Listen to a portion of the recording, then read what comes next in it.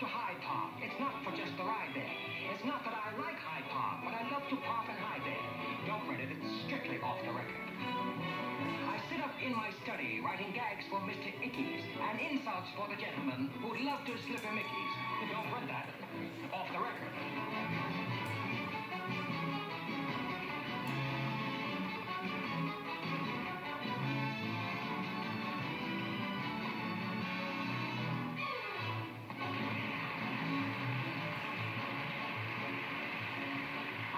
Prohibition Act when we required a bracer I finished up the Boulder Dam to give the boys a chaser. Don't print it, it's strictly off the record. And for my friends in Washington who complain about the taxes, who cares as long as we can knock the axe out of the axes? Don't print it, it's strictly off the record. I can't forget how Lafayette helped give us our first chance to win our fight for liberty, and now they've taken France. We'll